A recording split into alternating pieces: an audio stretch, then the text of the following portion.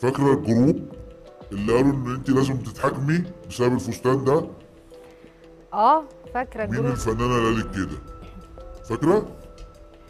هي group؟ فنانة وواحدة برضو مذيعة. آه في ما أنا عرفت إزاي الحرب من تحت لتحت إزاي. مش أنا في بداية الحلقة اللي ما فاتت. آه. قلت لك في ناس بتحارب بذكاء من تحت لتحت. مم. مش أنا قلت لك كده؟ هي بعتت voice وقالت إن انت لازم تتحاكمي على الفستان ده؟ ولازم النقابة توقفني و... و... آه وقالت إن أنا بشجع على العري و... والحاجات كتير مش لطيفة.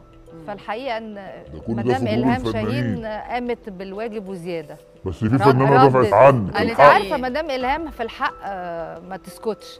قالت لا إحنا اتعلمنا العري منك وكل مشاهدك عري وكل المشاهد إحنا اتعلمنا الإغراء والعري من أفلامك. فأنت آخر واحدة تتكلمي في القصة. دي الفويسات دي اتبعتت لي. عشان كده بقول لك في ناس بتحارب من تحت لتحت أنا ما بحاربش من تحت. أنا عينك في عيني عينك كده ما عنديش حاجة أخاف منها وما عنديش حاجة أخاف بيها لكن الزميلات لما بيتسألوا حكايه زميلك اللي لا تعليق. بمنتهى فيها لا. تعليق لا تعليق مم.